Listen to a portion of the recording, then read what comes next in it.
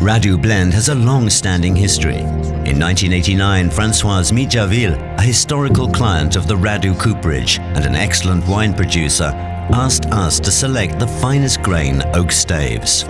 The purpose was to create exceptional barrels for the Radoux blend. The English word blend means assemblage. We blend the best types of wood from French forests. The barrels we supply to Art Russe are of exceptional quality. They are the creme de la creme, the best of the best among our products. We don't want to produce one-dimensional flavor barrels.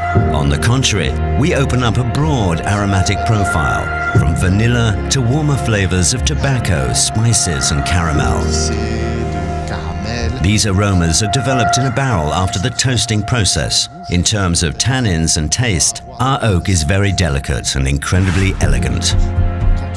When dealing with such privileged clients as Art Russe or the Mitjavile family, we use a customized approach. We uphold manual toasting traditions, but at the same time employ innovations to help us to ensure accuracy in production. We recently developed the OakScan system. It runs a chemical analysis of each stave that goes into barrel production.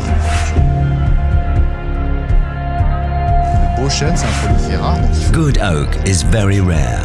It should be treated with due respect and care. Oak is in my heart and in my bones.